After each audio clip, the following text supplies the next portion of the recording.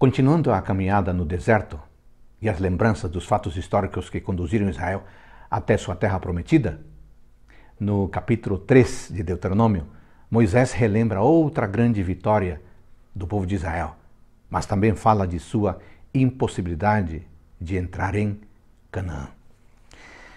A vitória sobre Seom, relembrada no capítulo 2, serviu também para animar o povo a continuar confiando em Deus e seguindo em direção à terra prometida, tendo a certeza de que o Senhor estaria com eles e que venceriam as batalhas em seu poder e não no poder do povo.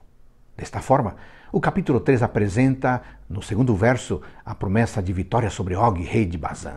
Não tenha medo dele, pois eu entreguei em suas mãos com todo o seu exército e dele também a terra dele você fará com ele como fez com Sião, rei dos amorreus, que habitava em Heshbon.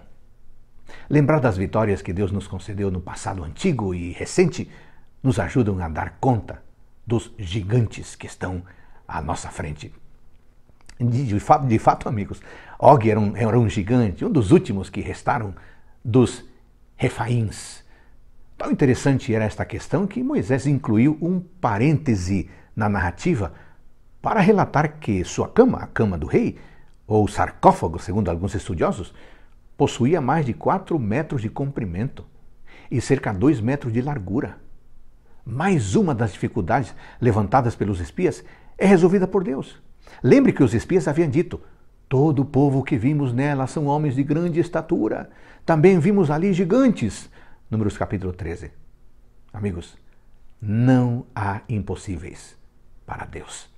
Já sabendo que não entraria na terra prometida, Moisés relembra: Naquela ocasião também ordenei a Josué: Você viu com seus próprios olhos tudo o que o Senhor, o Deus de vocês, fez com estes dois reis.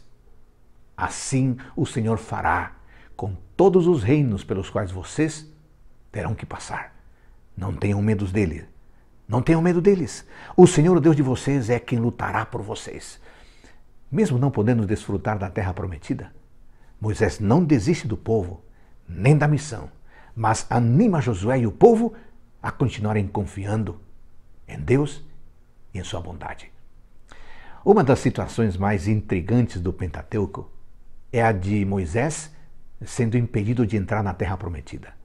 Este fato marcou tanto o profeta que, ao relembrar a jornada de Israel, ele registra mais uma vez este fato. Todavia, por causa de vocês, diz ele, o Senhor irou-se contra mim e não quis me atender. Basta, disse ele, não me fale mais sobre isto. Suba ao ponto mais alto do Pisga e olhe para o oeste, para o norte, para o sul e para o leste. Veja a terra com seus próprios olhos, pois você não atravessará o Jordão.